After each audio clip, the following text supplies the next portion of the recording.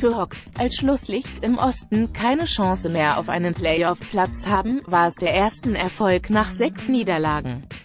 Ebenfalls schon länger aus dem Rennen um einen Platz in der Meisterrunde sind Dallas Mavericks. Das Team um Superstar Dirk Nowitzki kassierte in der Nacht zum Mittwoch durch ein 105 zu 115 bei den New Orleans Pelicans seine 49. Saisonniederlage. Nowitzki erzielte 19 Punkte. Nationalspieler Maximilian Kleber musste sich bei den Mavericks mit 5 Minuten Spielzeit begnügen und machte einen Punkt.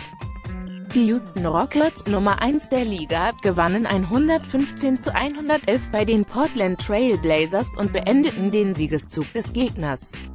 Portland war zuvor 13 Mal in Serie erfolgreich gewesen. Alle Ergebnisse des Spieltags auf einen Blick die NBA-Tabellen auf eurosport.de